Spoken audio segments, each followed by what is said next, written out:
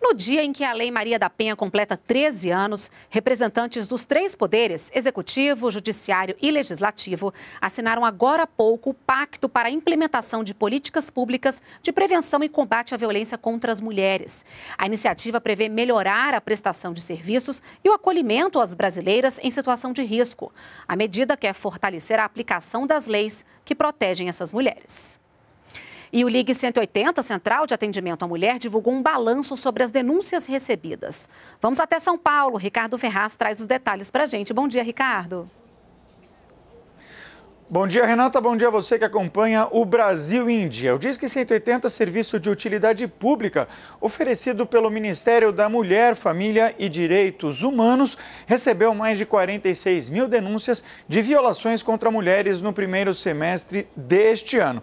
O número é 10% maior que no mesmo período do ano passado.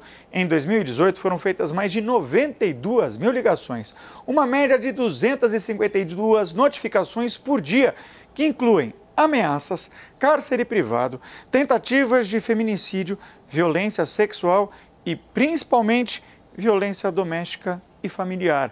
Os números foram divulgados hoje, como você disse, no aniversário de 13 anos da Lei Maria da Penha, que mudou a maneira pela qual a Justiça se posiciona nos casos de violência doméstica, agilizando o atendimento e estabelecendo medidas protetivas de acolhimento das vítimas.